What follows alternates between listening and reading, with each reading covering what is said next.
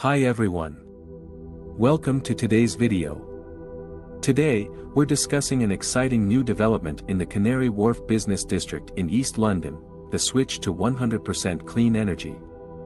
This is a big step forward for the district, and exciting news for the environment.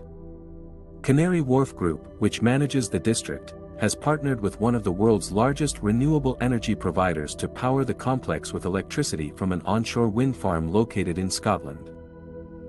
This 15-year agreement has the potential to be extended, and could help some of the world's biggest corporate names reduce energy costs and emissions. The deal has taken three years of negotiations to agree upon and could reduce electricity bills by about 50% compared to using power generated by gas power plants. The wind farm, owned and managed by the Canadian asset manager Brookfield, will generate electricity beginning in 2026. The wind farm's portfolio includes 25,000 megawatts of renewable energy, the equivalent of all the UK's onshore and offshore wind farms combined, and it has already struck clean energy supply deals with over 700 corporate customers.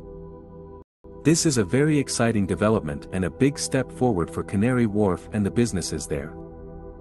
Every step to move toward clean energy helps our planet, and this development is no different.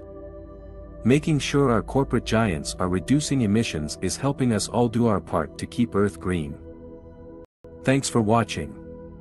Let us know what you think of this development in the comments below. See you next time.